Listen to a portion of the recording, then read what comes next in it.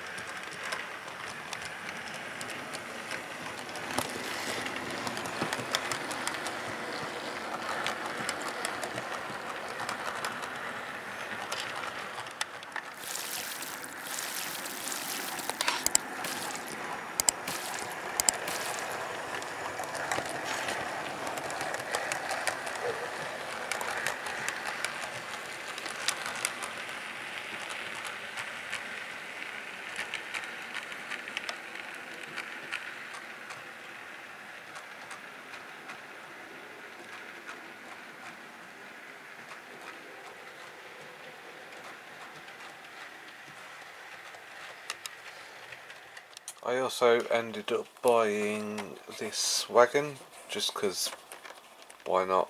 Not very prototypical but a bit of a laugh. Quite enjoyed watching Dad's Army anyway so yeah. Thought why not? Treat myself. So if anyone's wondering um, about these curved points and how reliable they are because I know with some of the Peco ones they can cause derailments. So if I bring my train back at a pretty fast speed you see the advantage of double.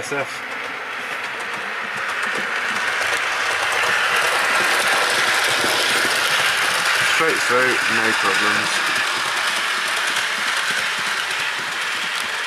Next thing for me to tackle is this curved single slip which is going to be interesting to say the least. I have no idea how to tackle it. Um, but yeah, it's going to be an interesting learning experience I suppose. So yeah, that's the next plan, tackle that. Because once that is done, then everything else is going to be pretty simple and easy.